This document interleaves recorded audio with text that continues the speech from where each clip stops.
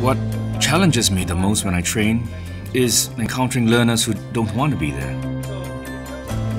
Some attend class because their employers send them, others need the certificate as a prerequisite for a job they want. They are not really interested in learning. And that really frustrates me. I struggled with questions like what meaning is there if all I did was enable a paper chase? Was my training to blame? I tried different methods to engage my learners. Nothing worked. Then I read about Fink's notion of significant learning. How we want our learners to learn something significant rather than something relatively insignificant. And that struck a chord with me. I needed to get my learners to care about what they were learning and for them to discover ways of teaching their own learners. The trick was to make them see the significance of what they were learning.